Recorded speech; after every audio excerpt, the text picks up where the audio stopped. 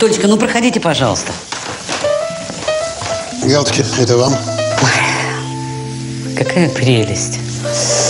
Боже, как это приятно. А я вас, признаться, немножко заждалась. Извините, по дороге к вам зашел купить цветы и немножко не рассчитал времени. О, а у вас, я смотрю, такой же букет. Вы знаете, Толенька, а я так люблю цветы. Я подумала, а вдруг вы не успеете забежать за цветами? А меня мамочка учила всегда, на всякий случай, надо иметь про запас. Вот, вот. Вот что значит правильное воспитание. А это чтобы отметить наше первое свидание. Боже, как же это трогательно.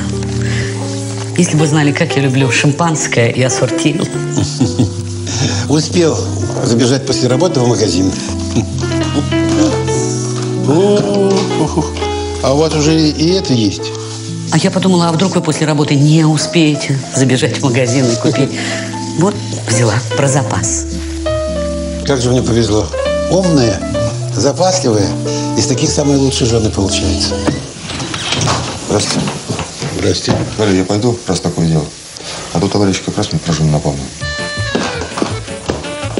А, а, а, а, это что это та- такое?